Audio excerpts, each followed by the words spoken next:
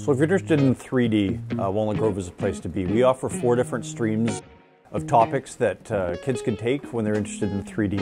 So what I like about this course is that I get to create whatever I want.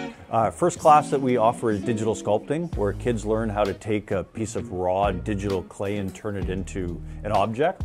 Another option we have is traditional 3D modeling and 3D fabrication. So working with a 3D program and also with your hands, you get to do a lot of uh, hands-on modeling and making objects like 3D printed things, uh, all sorts of different props that kids get to take home with them. 3D fabrication allows you to take an idea and to make it. You should take these classes if you're interested in 3D because there's nowhere else you're going to get this without paying at a university level. You get to do 3D printing, 3D modeling, digital sculpting, all sorts of stuff that you would normally have to go onto a university to be able to do. Really, we teach kids careers. We're teaching you how to work in the game industry.